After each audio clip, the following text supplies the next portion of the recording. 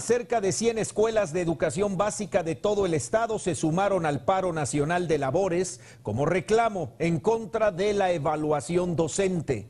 Alrededor de 20 mil niños y adolescentes se quedaron sin clases, mientras los profesores exigen transparencia en el proceso de evaluación y que el tema no se politice. Te invitamos a seguir cuestionando la información con los siguientes videos.